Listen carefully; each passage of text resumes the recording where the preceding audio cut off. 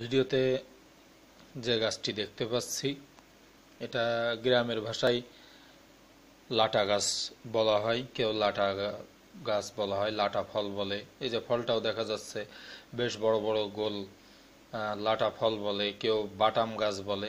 তো এই আসলে এই গাছের কাঠটা মূলত কাজে লাগে আপনার গ্রামে যে ঘরগুলোতে টিনের চাল দেওয়া হয়, তো সেখানে টিনের চাল দেওয়ার যে কাঠামোটা, সেটা তৈরিতে এই গাছের কাঠ কাজে লাগে। খুব একটা মূল্যবান কাঠ নয়, এটা মূল্যবান কাঠের ভিতর পড়ে না, নর্মাল কাঠ।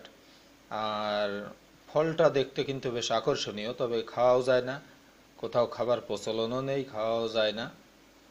মূলত ফলটার কাজও কি সেটা নিয়েও কেউ স্পষ্ট কিছু বলতে পারে না।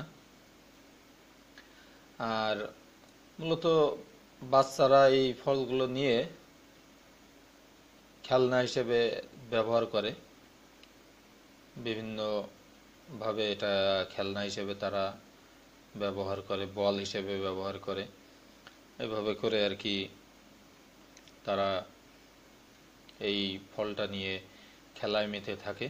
মূলত খেলার অনুষঙ্গ কিন্তু বাচ্চাদের। আর গাছটা আসলে সাইন্টিফিক্যালি কি নাম বা গাছটার কি পরিচয় সেটা হিসেবে আসলে তেমন কোনো কিছু কারোরই বলতে গেলে জানা নেই। সবাই গ্রামে এই লাটা গাছ, কেউ বলে বাটাম গাছ, এই জাতীয় নামে আর কি চেনে। আপনাদের আসলে এই গাছের সাইন্টিফিক্যালি কোনো নাম বা পরিচয়, উদ্ভিদ, গোত্রের যে পরিচয়, সেই পরিচয়টা কোথাও জানা থাকলে কমেন্টে অবশ্যই জানাবেন, তাতে অনেকেরই আর কি উপকার হবে। গ্রাম বাংলার কমন এই গাছটি সম্বন্ধে সবাই সম্যক ধারণা পাবে, জানতে পারবে।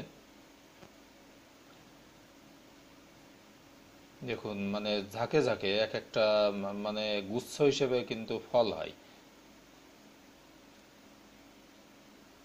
ভিতরটা শক্ত, ফলটা কিন্তু বেশ শক্ত মতো।